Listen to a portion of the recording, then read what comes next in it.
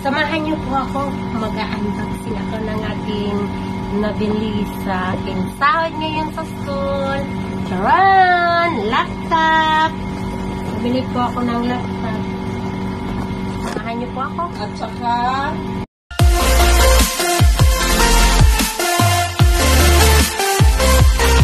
Hello!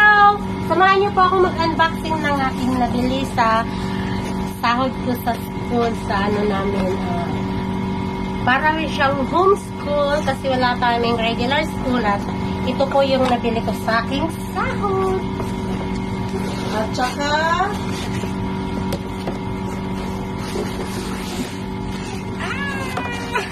wow, ang ganda. May inugan siya sa sahod niya, guys. Bago pong laptop. Ayan po.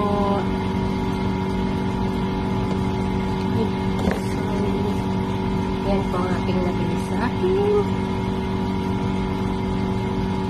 Sahod sa school. At saka po, charan! Cellphone na A12.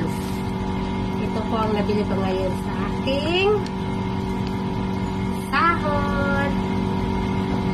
Ayan po ang aking nabili na cellphone.